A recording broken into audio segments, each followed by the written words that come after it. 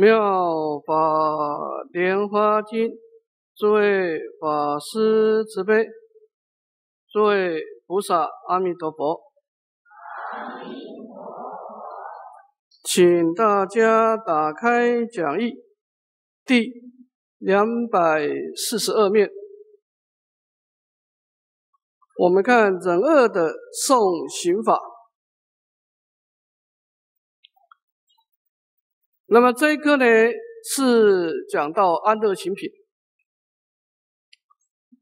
安乐，它的意思包括我们设身能够远离危险灾难，也包括我们内心远离忧愁苦恼。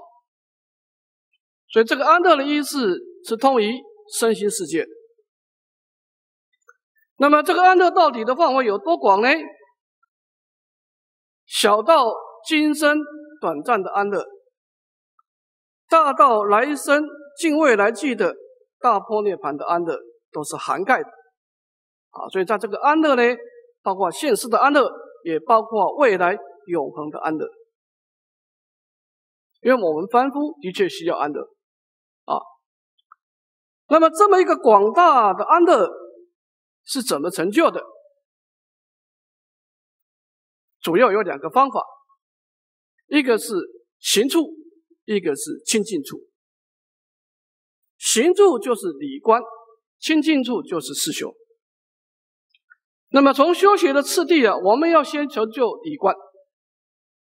什么叫理观呢？就是我们内心的安住。你的心住在哪里？在安乐行当中呢，他强调的心安住在一念的离相的清净心，这个是根本。我们一般人的心啊，是安住在自我意识。这安住在自我意识的时候呢，实力我们内在的烦恼业力啊，就变成怎么样？辗转相续，变成非常坚固。所以我们就很难去调伏改变自己，因为你根本就错了。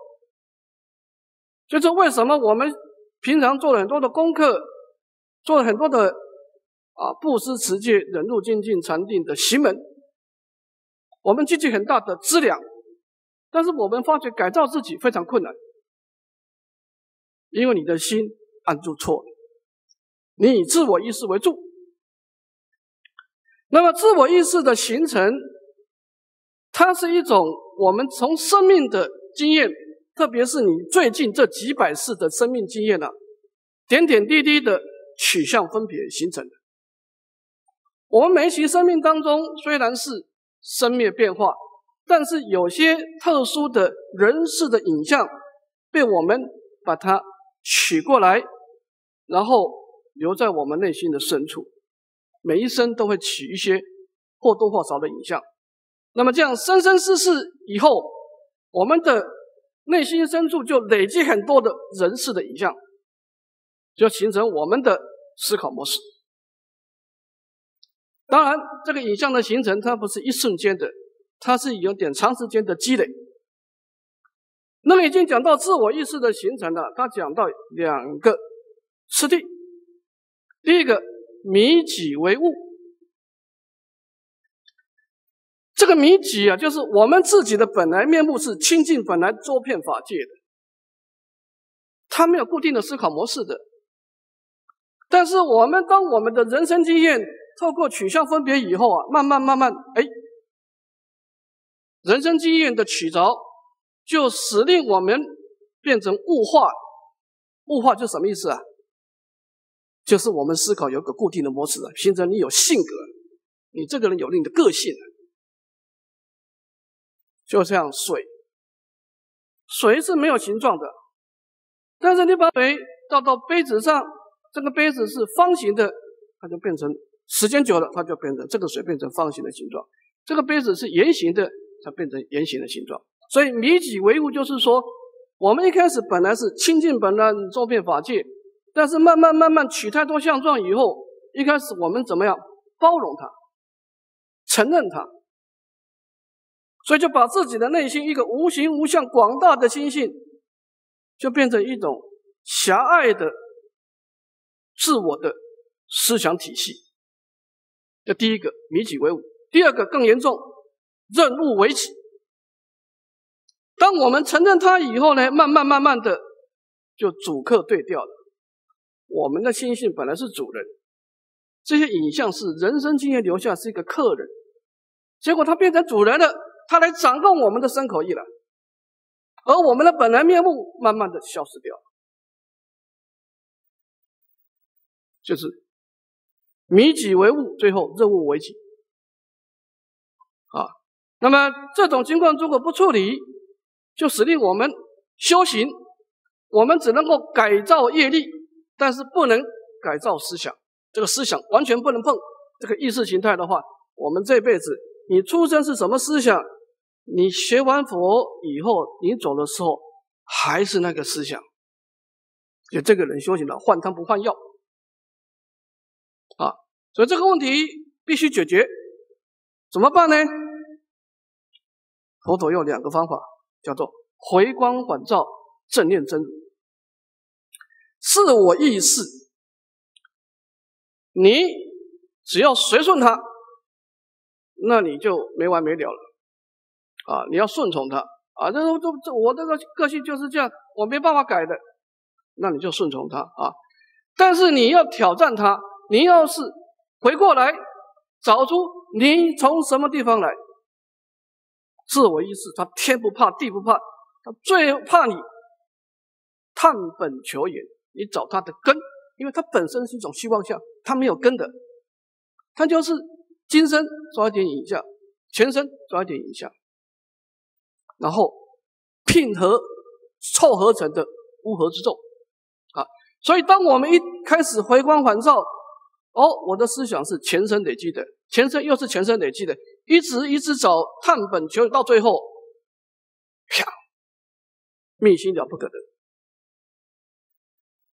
就是说，原来我们生命的原始点是没有相状的，你原来是没有个性的，你还记得吗？你本来是没有个性的，你是因为不断的轮回，在轮回当中取着你的人生经验，慢慢慢慢形成你的思考模式的，所以。你要在修行当中，第一件事情否定自我意识，就叫不随妄转啊，就是你今生要有大突破，你今生要往无上佛道走上一大步。第一个否定自己，这个就是离观啊。所以他那个清净，我们前面说过，这个清净不是修来，我们什么事也没有，没关系。法身菩萨他有理观的清净心，有世修的清净心，他两个清净心都修，他理观世修。我们凡夫至少你可以有理观的清净心嘛？你道理上先认同这个事情嘛？就是所谓的直下承担嘛。我们现在是一个在外面流浪的孤儿，我们当然回不了家嘛。但是你先相信你原来有一个家的，你先相信这件事情啊。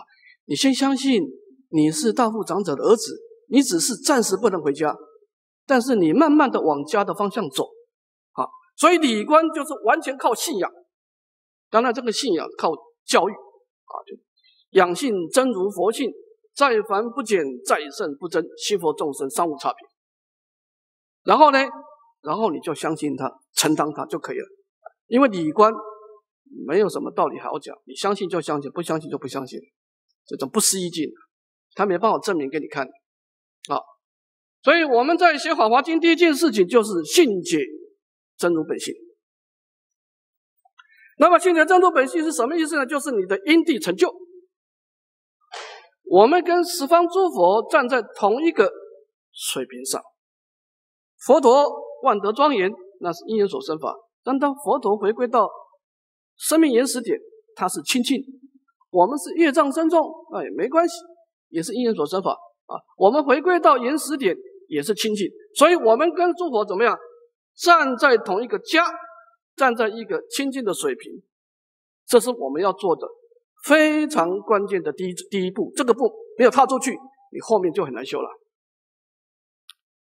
如果你一直认为你业障深重，你一直认为你的个性不能改变，你今生就没有成就了，没有成就了。不管你一天拜几拜都没有成就了，啊，因为你那个经种根本成妄，你站在一种生灭的颠倒的自我意识来修学，你是加强自我意识的力量，就是你的福报都是被自我意识掌控。当你根本是染物的时候，你所有的果报都被染物了。譬如真沙不能成饭，你的因地拿沙去煮，你结果就变成热沙。因为自我意识不是成佛的根本，你不可能煮成饭啊。所以，诸位，我们在整个安乐行当中，第一件事情就是菩萨的行处。三世诸佛他内心当中的安住处就是清净心，我们也以清净心来住，只是我们的是信仰的清净心。那么十方诸佛是透过四修的信解行证，它是正入清净心，但是没关系，还是清净心啊，这是第一点。叫做理观，那么理观以后开始向内心否定自我以后，那么接下来就是四修了。四修当中有三个方向：身安乐、口安乐、意安乐啊。就透过这个我们经典里面的止跟观，那么止就是调伏啊。当我们安住清净心以后，我们开始在面对自己如梦如幻的。烦恼跟罪业，第一件事情怎么办？调伏，务实的面对自己，把自己的烦恼过失调伏下来，身口意的过失调伏下来。第二个引导，把它引导到好的方向，好引导到菩提愿、慈悲心啊。所以，当我们的根本站稳了以后，下下面就是知末的次修了啊，就是改变身业。改变口业，改变意业啊？怎么改变呢？通过止行跟观行啊。那么这个就是四修啊。好，那么安乐行就是一个这样的一个因跟果啊。透过理观四修而成就身心世界的安乐啊。好，我们看忍恶的送行法，这个地方讲到口安乐行啊。那么前面是长行，这一下重诵啊。那么口安乐行的刑法有两，一个是止，一个条幅，一个是观行。看字行，看经文。若有比丘及比丘尼、诸优婆塞及优婆夷、国王王子、群臣市民，以微妙义和言为说。那么这段里面有两小段，第一段呢讲到和言说法。就讲到我们说法的时候，我们口业应该怎么做？若有出家的比丘、比丘尼，或者在家的优婆塞、优婆夷啊，这个四众弟子，或者他是国王、王子、群臣、市民的一般的居士等等，那么他以恭敬心来向菩萨求法，菩萨应该怎么办呢？以微妙义和言为说。那么他来起法。表示他的善根成熟了啊，所以我们怎么样呢？直接讲中道的一佛正的思想。一佛正思想，第一个就是理观，你告诉他自己，我们的内心本来面目是清净的，从清净心来修起六度万恨啊，这个是微妙义啊。那么这个一佛正的妙义用什么心态呢？和言说法，用这种和悦的态度来为四众弟子说法。这个合言呢，有两个重点。第一个，在说法当中，不论人法的是非长短，就远离前面所说的口业的四种过失啊。第二个呢，心中远离轻慢的对立性啊。你心中没有轻慢对立，你就不会去说别人的过错，也不会去啊去厌嫌啊各种众生。啊，所以这个这个态度就是和言的，远离轻慢而没有对立的啊，这个是说法的方式，就是有人请法的情况，就是以微妙义和言说法啊，这是第一点啊。第二点，如果有人对你提出的问题，你应该怎么办？好，我们看经文：若有难问，随意而答，因缘譬喻，复言分别，以示方便。皆始发心，渐渐增益，入于佛道。除懒惰意及懈怠想，离诸忧恼，慈心说法。那么前面是说法，这一下是回答让问，就是有人心中有问题了，他提出他的问题来向你请问，那你应该怎么办呢？随意而答。随意而答呢？我为大师分成两种情况，一个是可答，一个是不可答。什么叫可答呢？就是对方提出的问题是啊，自责语。自责语就是说他是理性的跟你讨论，他真的是想要去从一个学习啊，想要了解这个真理的角度来跟你请示，那么叫做自责语，他是从智慧的心。发出来的，那是你可以回答，就你所知的，完全告诉他，啊，这是第一个可答。第二个是不可答，不可答有两种情况，就你不能够回答，你要拒绝回答。第一种国王语，他讲话的口气就跟国王一样，啊，所谓的为者诛之，这个诛就是诛杀，啊，就是他的讲话态度是特别的刚强对立的。他就认为他，也就他是来跟你辩论的，你可以拒绝回答。第一个是吧？因为他讲的话是国王国王的这种口气，国王语。第二个是愚者语，他这种人是愚痴浅视，难明是非。有你跟他讲，他也不懂，他就是喜欢跟你问而已啊。啊，这个时候我们也可以拒绝回答。啊，为什么要拒绝回答呢？因为尊重法故。啊，佛法不能在一种愚痴语。国王语的这种轻慢的情况之下，对立的情况来先说的啊，这个是会轻慢佛法的啊，所以让问呢，你得要先判断一下是可达是不可达啊，就看他的心态啊。那么如果对方是看你受教化的是可达的，那么我们应该配套因言说譬喻说，那来开展这种详细的法义的差别。啊，通过因言跟譬喻啊，来分别这个法义之间的彼此的差别。那么以是因言跟譬喻两种方便呢，使令对方怎么样呢？发起菩提心啊，透过信解一佛正的清净心而发起菩提愿。那么乃至使令他慢慢的增长广大，趋入于佛道啊。这当中呢，要消除懒惰意跟懈怠想啊，一种精进的心啊，离诸忧恼。啊，虽然在问答过程当中可能会产生忧跟恼，那是依止慈悲心的说法啊。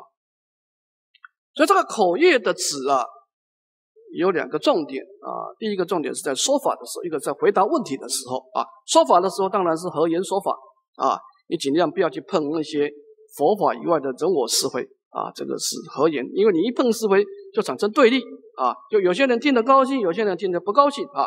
所以说法者尽量是以法来说法，和言说法。第二个随意而答啊，判定这个回答该不该回答啊，回答到什么程度才能够尊重佛法的他的这个殊胜啊？这是值我们看观啊，这个观呢就是怎么样能够做一个善巧引导啊？看经文，昼夜常说无上道教。以诸因缘无量譬喻开示众生，咸令欢喜。衣服卧具饮食医药，而与其中无所希望。但一心念说法因缘，愿成佛道，令众一耳。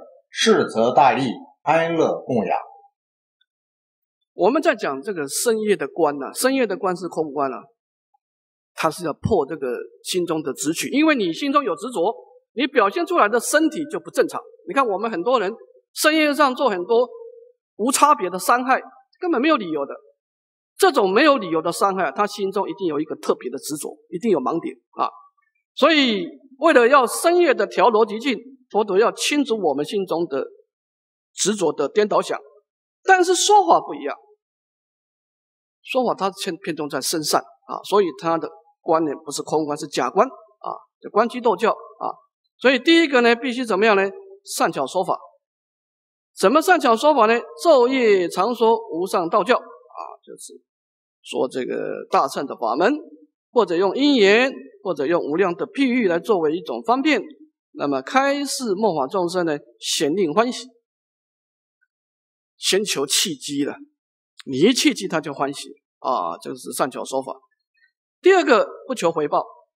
那么说法以后呢，我们内心要怎么想呢？对于衣服、卧具、饮食、医药的种种的供养啊，心中不要存有任何的回报的希望。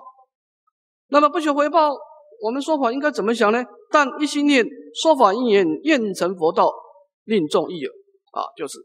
所以我们在做功德的时候啊，一定要不要去求因果的回报啊，就是怎么样回向，要透过回向把它。回转导向到无上菩提啊！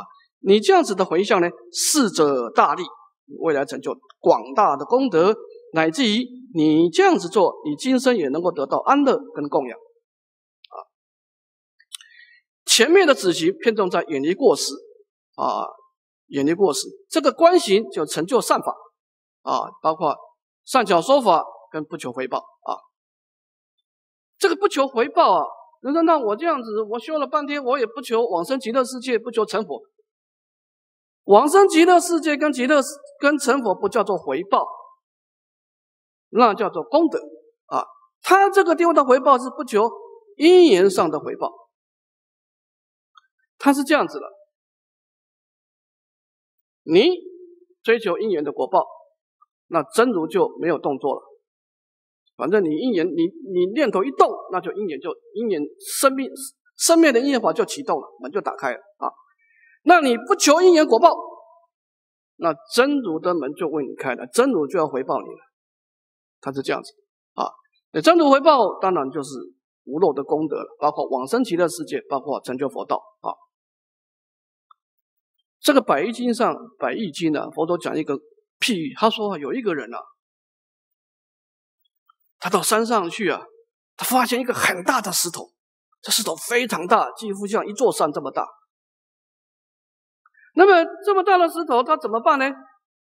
他心中就打妄想，他心中出现一个影像，出现影像呢，他为了把这个影像实践呢，他拿这个斧头啊，把这个石头啊，今天早一点，明天早一点，结果几十年、几十年后呢，终于把他心中影像凿出来了，凿出什么呢？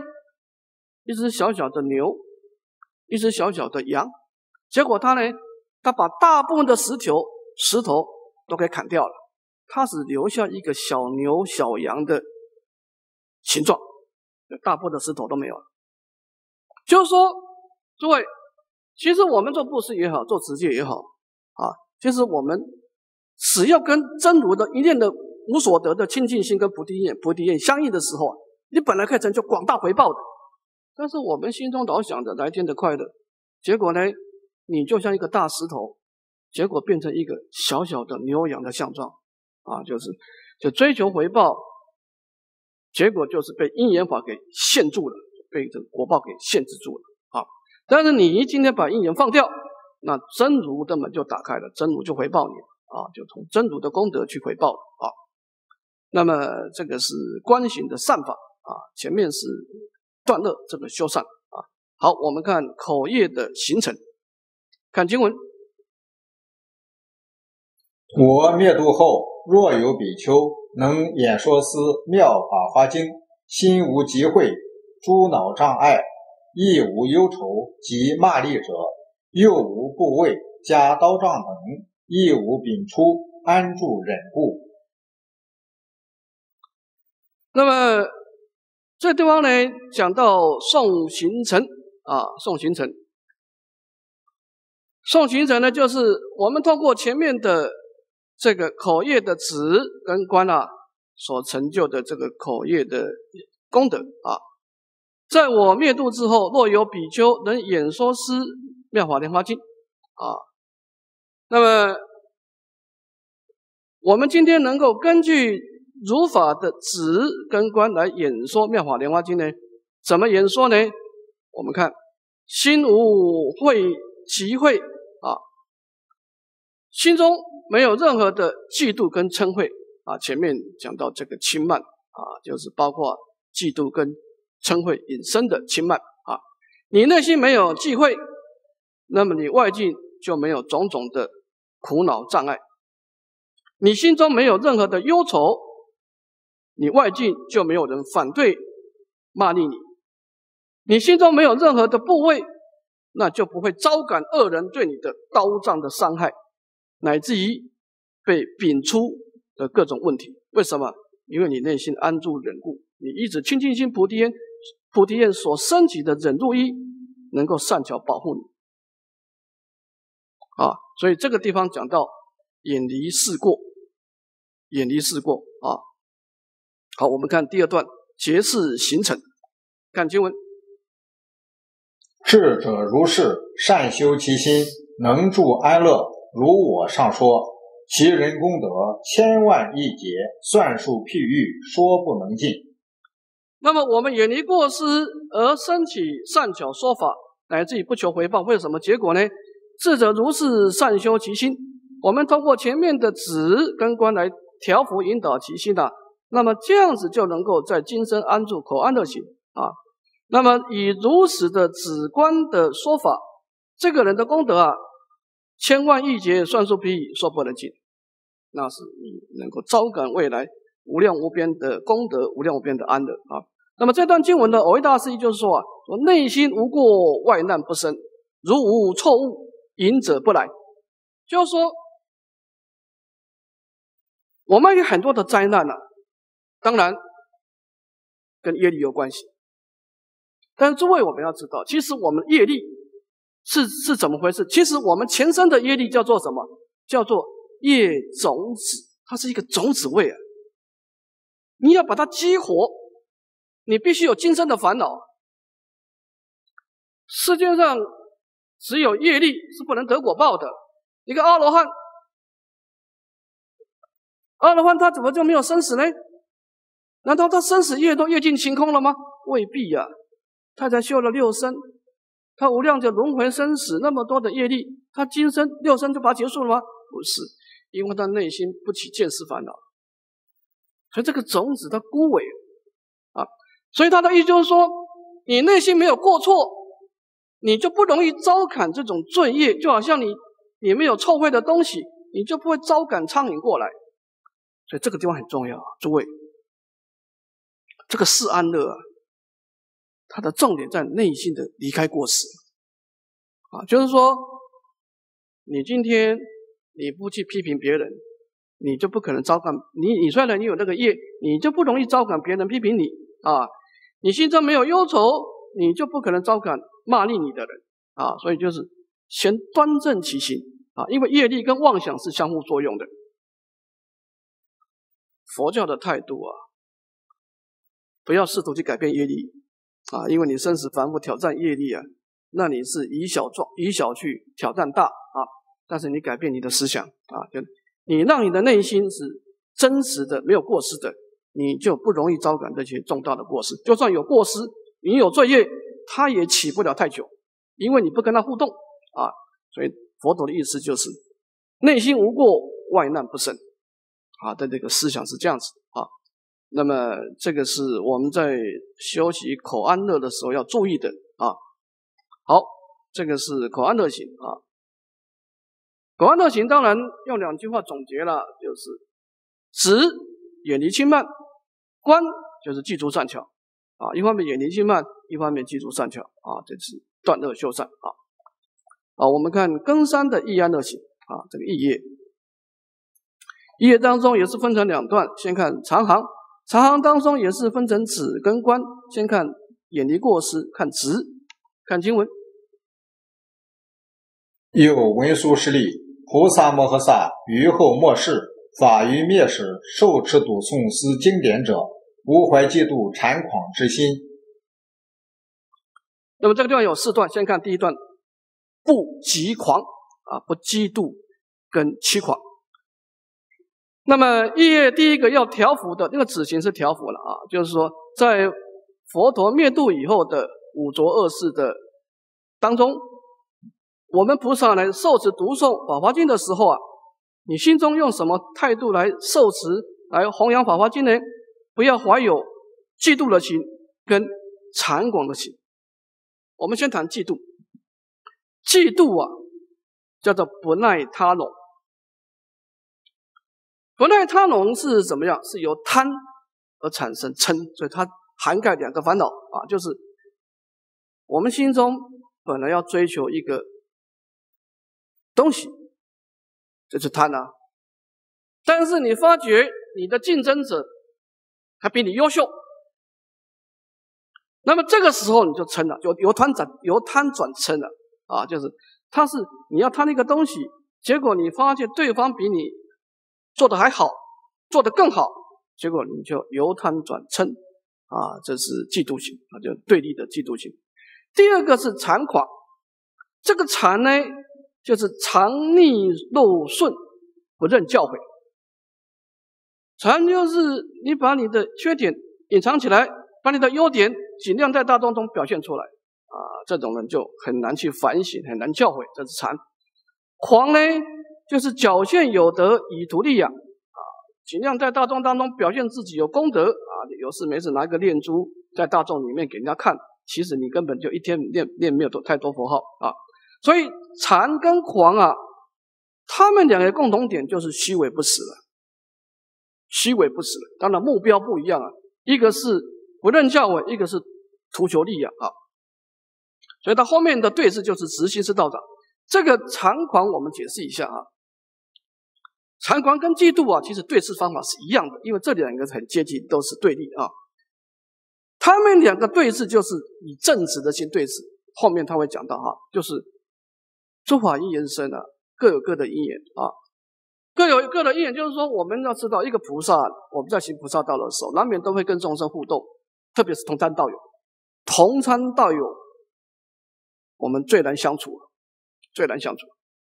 你跟长辈很好相处，长辈就是恭敬，对下辈就是慈悲，啊，所以最难相处的是同辈，尤其是修行差不多的，年纪也差不多的，啊，那么这个时候就很容易产生嫉妒了、猖狂了。啊这就是我们要知道一件事情了，所以我们要讲顺从因缘。其实我们不但是顺顺从真如啊，也要顺从因缘的。就是因缘所生法，就是每一个人各有各的专长，你有你的特点，他有他的他有他的缺点，每每一个人都是这样子啊。那你怎么办呢？你找到你的定位就好，定位啊，你不要管别人怎么样。就是有些人他可能适合做打扫工作。有些人适合做人事协调，有是适合编讲义，都没关系啊。你的专长是什么？你就找到你的定位，做你该做的事情，做你适合的事情啊。然后随喜别人的功德，就叫正直啊。就是说，因缘所生法最怕你怎么样对立，跟人家比较。我怎么样，你怎么样？一比较的时候，嫉妒心出来了，残狂也出来了啊。这个就是落落入于比较啊，就是你内心不正直。你没有很真实的面对自己啊，那么你没有面面对自己的时候，你攀岩别人，拿别人跟自己对比，那你自己就起烦恼啊，是这种情况啊。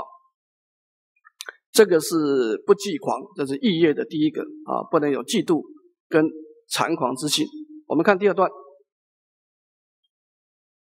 亦无轻骂学佛道者，求其长短。那么残狂只是内心的，那那你如果你没有好好对视，就变成口业了。你开始轻视、谩骂这种学佛道者，这个学佛道者就是三乘的同参道友啊。那么同参道友呢，你就怎么样呢？求其长短啊，求其长短呢，就是你用你的长处去攻击他的短处啊。所以韦大师说啊，我们学菩萨道的呢，要取其长以自益。务求其短而无比啊！你要看他的优点来当做你学习的对象啊，要包容他的缺点啊，那你就不会容易去轻慢你的同参道友啊。第二个不轻不轻骂啊，第三个不扰乱。看经文：若比丘、比丘尼、优婆塞、优婆夷，求声闻者，求辟支佛者，求菩萨道者。无得恼之，令其移回，与其人言：“汝等去道甚远，终不能得一切总治。所以者何？汝是放逸之人，与道懈怠故。”第三个，不要扰乱修行者啊！你不但是不轻骂，你还不能出口去扰乱他。怎么扰乱呢？就是说，若比丘、比丘尼、优婆塞、优婆夷，这四众弟子呢，四众弟子，他们由于每一个人的根基不同，有求声闻乘的，追求极尽涅槃的，有求辟支佛的，有求菩萨道的。那么你自己学完《法华经》以后，当然你的视野更开阔了。你站在一念清净心的角度来看十法界的因缘果报，是如梦中幻。但是你虽然你的见地的水平高，但是你应该怎么办呢？无得脑知，令其疑毁。你不要去刺激他，说：“哎呀，你们这些求三正的人都是心外求法啊，虽然你们成就你们相应的果报，但是你们离佛道久远啊。”你这样子去刺激他呢，对他没有好处。比如藕益大师说啊：“进不能见起言离，退不能遵守三权。”他的根基就是这样子啊，他的根基就只能够去单向的修学，他只能修四谛法去向涅槃，他只能修六度去向菩萨道啊。那你一定要一心真主的角度来去扰乱他，结果呢？他不但不能成就一心真如的妙理，他连他自己的本分的权法也失掉了。所以我们讲，利欲其人言，汝等弃道圣言，终不能得一切种子啊！说你这样子修啊，你修到什么时候啊，都没办法成佛的啊！因为你今天呢有所得啊，就形成单向的功德，你不能成就种子的功德。那你用言教的思想去。混乱全法，但是他的根基又不够啊，所以呢，就变成一种扰乱了啊。所以则和？汝是放逸之人，一道懈怠故啊。你从佛道的角度是放逸的，你是得少为主的啊。从大正的角度是懈怠啊。这个你不能这样扰乱他，因为他的根基还不够啊。看第四个，不不增不增进。又以不应细论诸法有所增进。那么这个细论诸法是什么意思呢？就是你一个初心菩萨在说法的时候啊，不能够去跟人家去啊互相比较争夺高下。在哪里比较高下呢？消文释义啊，你看我消的文比你漂亮，我我用的言辞比你美妙，那么忽略的关心的重要。啊，就是这个文字上，重点是要能够你要启发他内心的智慧关照啊，而不是在整个消文释音当中求其美妙啊。所以这个地方就是不要在美妙的消文事宜当中呢去争夺高下啊，就不增进啊。那么总而言之，这个一安乐行呢，啊，慧智禅师讲出两个重点，叫做无脑平等安乐行。第一个，心中不要恼害众生。第二个呢，就是平等，要慈悲包容。这个慈悲包容是指观行啊，前面的止行就是无脑啊，不要恼害对方，他既有的善根啊。那么慈悲包容，看下一段啊，就是观衡观行啊。我们透过对峙的方法，把我们自己把它引导到一种平等的慈悲心啊。看经文。当与一切众生起大悲想，与诸如来起慈父想，与诸菩萨起大师想，与十方诸大菩萨常应身心恭敬礼拜，与一切众生平等说法，以顺法故，不多不少，乃至深爱法者，以不为多说。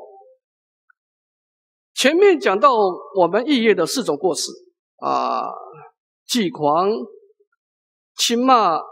扰乱跟增进的四种过失，这四种过失变成恼害众生了啊！那怎么办呢？佛陀提出的四帖药来对治啊。第一个，以大悲心对治忌狂。那么第一个，当一切众生起大悲想，就说你行菩萨的目的不，你不是跟人家比较的，你不是要跟人家比较谁好谁坏的。行菩萨道是要怎么样呢？但愿众生得离苦，不为众生众生求安乐。你是要为众生拔开、拔除痛苦的，你不是要跟他比较高下的。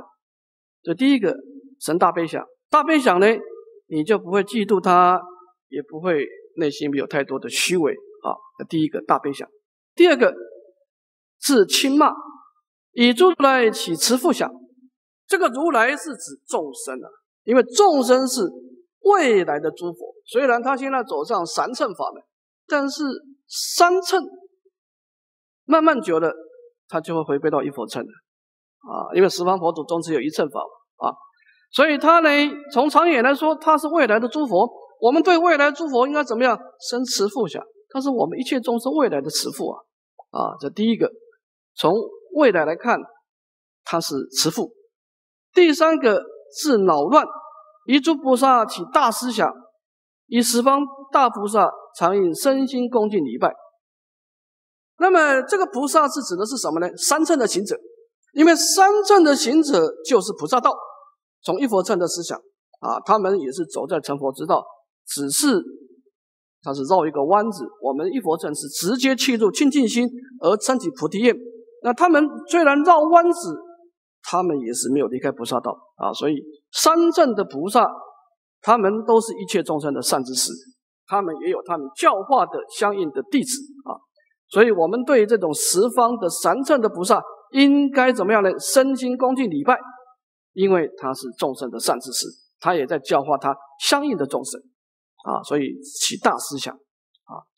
第四个治这个增进一切众生平等说法，平等说法就是藕益大师说的“文随意，义随文”啊，文字跟义理要均等，不要文多义少，也不要义多文少啊，就是文字跟义理的平要说法要相等啊。那么为顺随顺法故，不多不少，恰到好处啊。乃至于对于法特别深爱的，也不要刻意的多说啊。你的意义讲到哪里，文字讲到哪里，适可而止啊。那么这个是讲到慈悲平等啊，用四种想：大大悲想、慈父想、大慈想跟平等想啊，这四种的念想来对治我们心中的四种烦恼啊。好，我们看形成结形成，看经文。文殊师利，是菩萨摩诃萨于后末世法于灭时，有成就是第三安乐行者，说是法师无能恼乱，得好同学共读诵是经，亦得大众而来听受，听已能持，持以能诵，诵已能说，说已能书。若使人书供养经卷，恭敬尊重赞叹。那么这段经文是总结我们透过这个四种想对治四种过失啊。那么在整个一案乐行当中所产生的功德啊，这功德有两个。先看第一个，恶不能加啊。文殊师师利菩萨是菩萨摩萨以后末世法义灭时有成就第三安乐行。这个地方指的是止跟观啊。你成就安乐行的止跟观。我们先说止，如果你能够成就止，调伏四种烦恼，那么你将将将怎么会呢？无人扰乱，不为他人所扰乱，如是因如是果。你因地当中，你不扰乱三乘的行者，你在果地上，你也不会为一切人所扰乱啊。所以你的修行也好，你的弘法也好，就无人扰乱的第一个恶不能加。第二个，你修观，你能够把不但是远离过失，你还能够把你的心引导到慈悲平等。那么这样子呢，就能够招感圣言来集啊，殊胜的因缘来汇集啊，你的生生世世能够招感好的同参道友啊，共同修学法华经，而且你说法的时候能够招感相应的广大的听众。来听《法华经》，而且呢，听了以后他还能够相应受持，受持以后还能够去读诵，乃至于他也能够为别人演说。那你这个《法华经》的法种就能够辗转相续啊，令正法久住啊。就说以人书，若使人书供养经鉴，乃至于恭敬尊重赞叹啊。所以韦大师说啊，修行这个易安乐行啊，它的重点在无脑跟平等啊。你修止行故，恶不能加。你心中没有恼害众生的心，你就不招感别人恼害你，这是止行。有观行成就故，圣圣言来己啊，你招感好的因缘啊。所以他这个整个《法华经》的修学啊，他很强调一个观念啊，诸位，就是说，你从现在开始，你先不要管别，不要不要管别人对你怎么样，你你跟他互动，你生命就没完没了。所以走出过去，什么叫走出过去？什么叫过去？我问大家，什么叫过去？过去在在哪里？你的六亲眷属就是你的过去，你的环境就是你的过去，他用业力的方式，用人的方式显现出来。你现在有两个选择，就是你现在陷入一个六亲眷属跟你不和，一个不好的环境，这是怎么回事？一句话就讲完了：万般皆是业，半点不由人。好，你面对业力，你不随顺因缘。你去抗拒他，你伤害我，我也伤害你，好吧？那结果呢？结果两个人都堕落，你还是跟过去互动啊？他的意思就是说，你先不要管过去怎么样，你不要管外境怎么样，从现在开始，你自己把你的内心端正起来。这个易安乐行就是你先把你自己做好，就同到此为止，断相续啊！你对我怎么样？我认了啊，但是我现在的心态呢，有子行故，恶不能加；有观行故，慎言来及。你这样生命才能够反转嘛！当然，你能够做到，你不能活在自我意识，自我意识你是做不到，因为自我意识是一种对立的。所以他这个意思就是说，请你把你的思想、你的个性都收起来，安住在离相的清净心。那照佛陀的说法。我都怎么说，你就怎么做啊！先端正其心，然后才能够改变业力啊，是一个这样的一个情况啊。好，我们先休息十分钟啊。